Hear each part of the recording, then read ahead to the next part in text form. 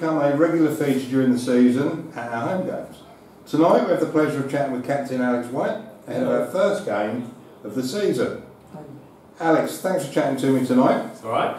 And firstly, congratulations on being appointed the captain for the new season. Ah, thank you. I wasn't really expecting it to be fair, especially because I'm still quite young, but see what I can do. There's a few other experienced boys, so they're going to help me out. Excellent.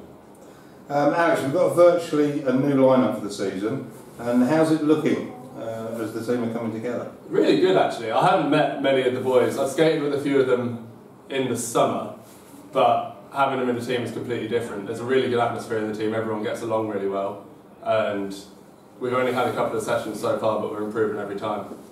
So Thank it's looking promising. Um, last weekend we took the trip down to Chelmsford for what turned out to be an extremely physical game. Just a bit. Can you give me your thoughts on how the guys actually dealt with that physicality? I mean, they started off a lot stronger than we were expecting, like letting in a goal in the first 12 seconds. It's never in the game plan. Um, but I feel like we definitely upped the game as the game went on, and in the third period we were going toe to toe with them. I don't think they expected us to start pushing back as hard as we did. Um, but it was good to see, and it bodes well for the for the rest of the season. Yeah, definitely, definitely.